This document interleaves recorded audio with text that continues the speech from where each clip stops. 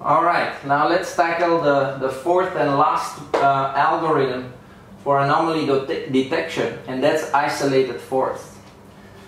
Isolated forest is very fast, and we're gonna see it during the coding exercise. It's also accurate, and it will work with large data sets. There's no feature scaling needed here, for example. Yeah, you just you just split it. And there's no need to calculate distances, which protects you against the curse of dimensionality. And um, it's also more memory friendly to your machine.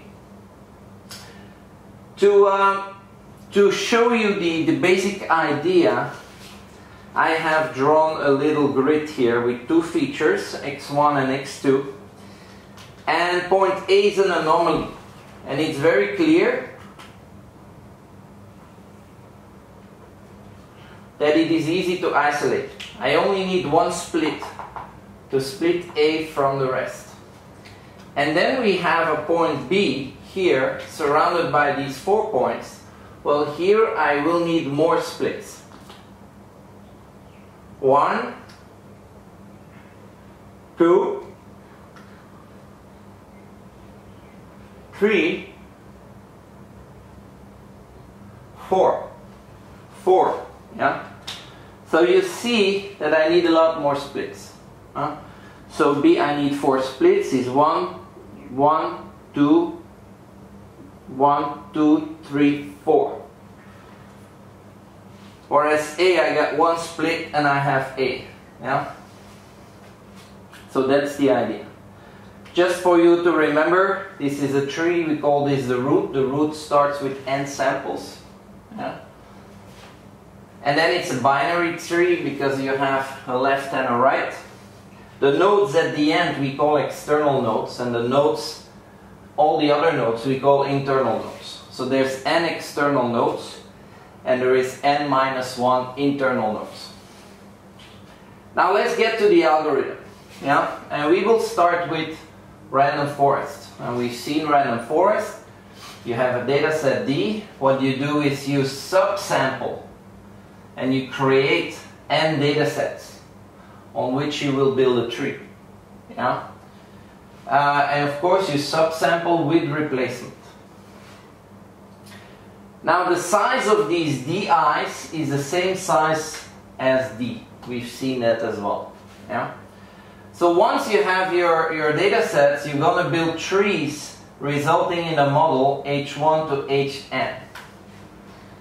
And um, the way we're to uh, split is you're to split right through the end.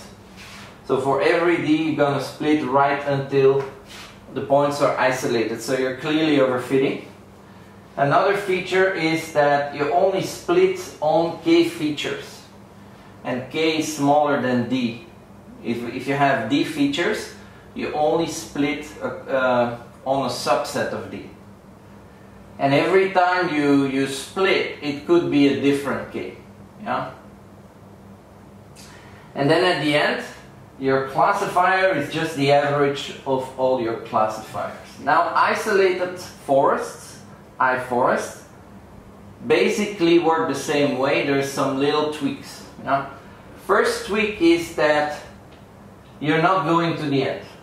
You're not splitting all the way down. Um, and why is that? Well, because we just said that anomalous points are isolated a lot faster than normal points. So you could actually uh, set a limit on how deep you want to go with the tree.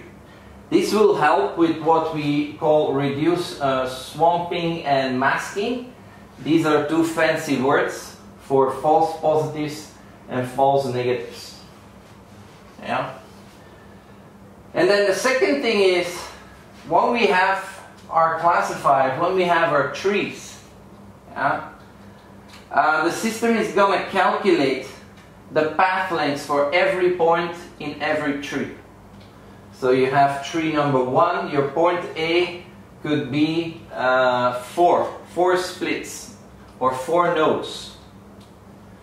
But in, uh, in dataset 2, this same point A, it could take five notes.